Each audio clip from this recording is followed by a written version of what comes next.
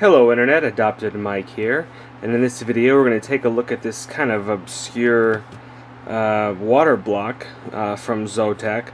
This is their liquid cooling upgrade kit for their, we can take a look here, GTX 580, 570, and 480 graphics cards.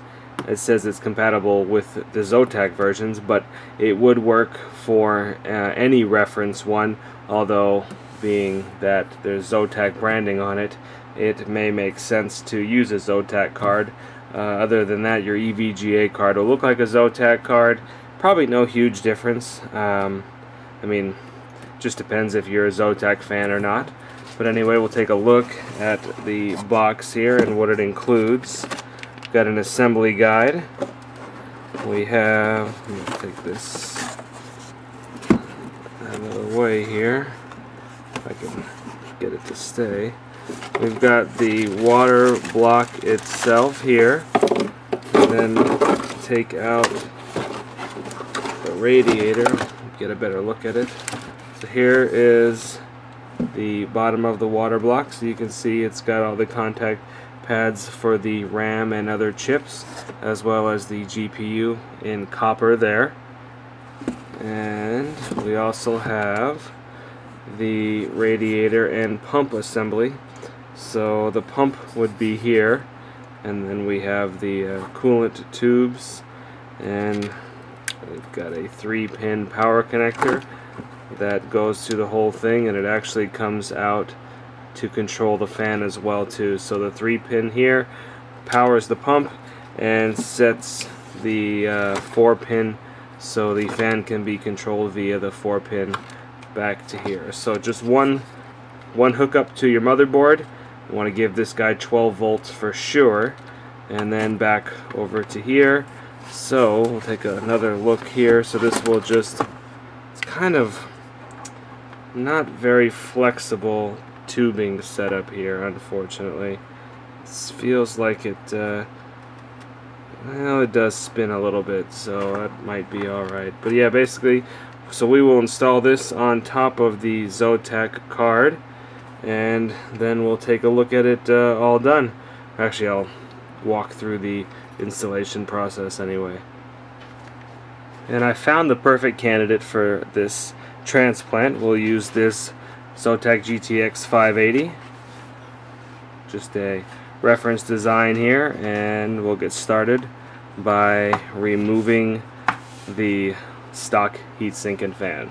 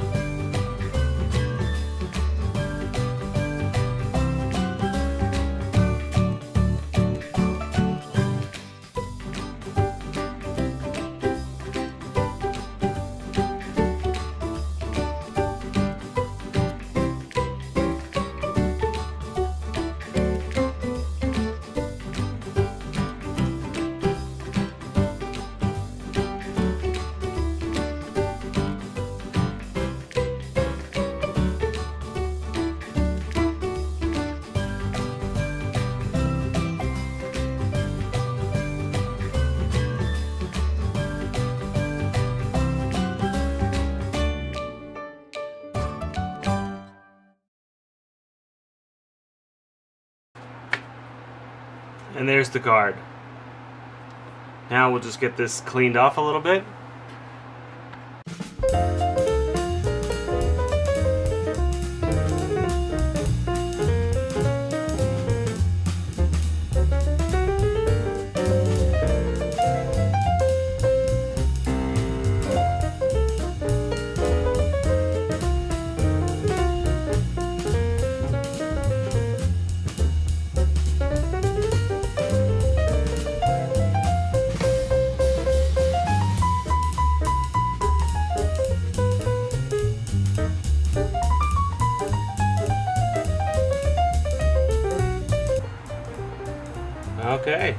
Cleaned up.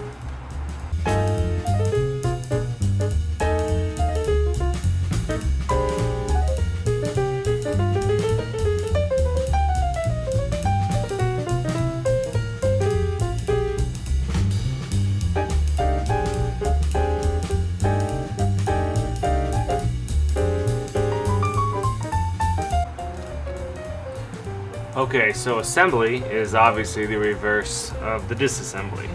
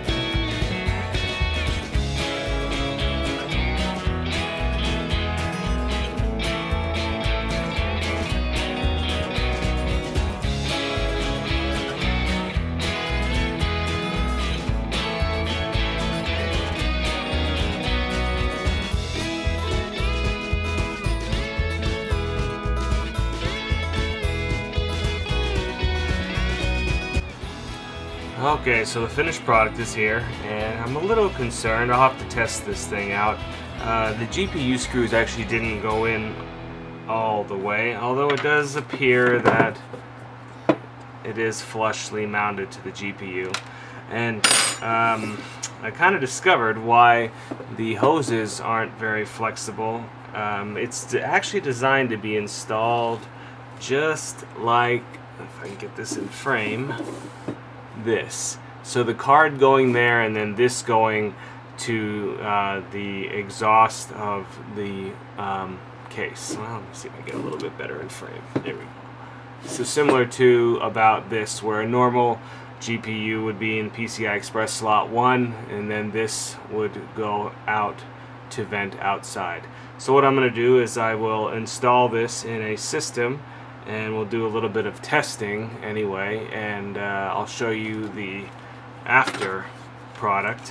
One other thing it did come with an optional smaller brace. Uh, I probably will install this being that I'm not going to need this double slot anymore. And uh, it's really not doing anything. I mean it's fairly flimsy.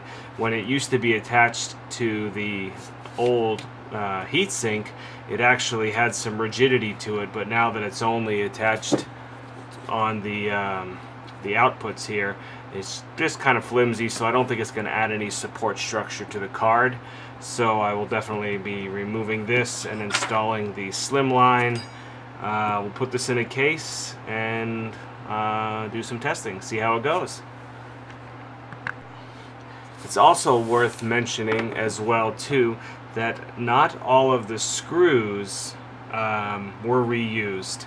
And I'm assuming, you know, being that this is sort of universal for 480, 580, and 570, that there's a like the screw holes around the GPU. Then that was kind of surprising, actually, too. Uh, you figured of any of them that would be reused, it'd be the screw holes around the GPU, but you know they don't go to anything, unfortunately. They just uh, you know.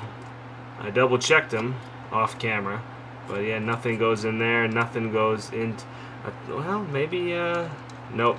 And this one here appeared, but to uh, it definitely stops when you put it in, but there's no threads on the other side. So so anyway, there's uh, five screws that were not reused here. Well, plus the the two on the end. There was nothing behind there. So yeah, just just note if uh, you do get one of these that it is okay to have screws left over. So after plugging in and testing it out, um, I had some pretty horrible idle temperatures and as soon as I put the GPU under load it immediately started creeping up to the 90 degree um, very very quickly and I noticed that the output um, actually coming out of the radiator wasn't changing. It just felt you know normal I guess. Um, anyway so I took it apart and upon further inspection as you can see here the uh, thermal paste didn't really expand out that well. And then I noticed that it's actually indented to well not really indented but the the the contact surface actually doesn't come out far enough away from here. Now all the RAM chips and everything uh, you can see well I don't know if you can tell or not but they indented onto the RAM really nice and some of the VRM there uh, I've removed those anyway for inspection but I noticed they all had indentations of where they were hitting the chips properly but this did not contact the GPU block unfortunately and I am not sure why but definitely I tightened it down I made sure I, I double checked it and every time I was getting blotches similar to this with even more on the GPU. It just wasn't hitting this and then spreading out. There's just no contact pressure here whatsoever on the GPU when I started to mess with it. So I realized that um, definitely wasn't making contact, which is kind of unfortunate because this does seem like it would be a pretty cool idea. I don't know if I have a defective one. I purchased this off of eBay, so there's really no way to tell if I have a defective one or it quite possibly maybe the box looked like it had been opened already so maybe the seller uh, attempted to use it and uh, he found out it didn't work and so he sold it to me unfortunately and now I'm kind of stuck with it. But you know you live and you learn. Uh, but definitely anybody seeing these out in the wild I would totally not recommend it because I just think that uh, this here is just a piece of crap and it's definitely not designed correctly. So anyway, again, I do not recommend this uh, Zotac branded uh, liquid cooling upgrade kit here. It's actually by the uh, by CoolIT uh, here. I yeah, I wouldn't mess with this for anything. And take another shot again up close. You can see exactly what I mean. The thermal paste did not spread out at all. And in fact on the GPU side I've already cleaned it off. Otherwise I would show it I should have showed the GPU side. The GPU side actually had it was you know it had considerable thickness on it as well too uh, similar to how I applied it.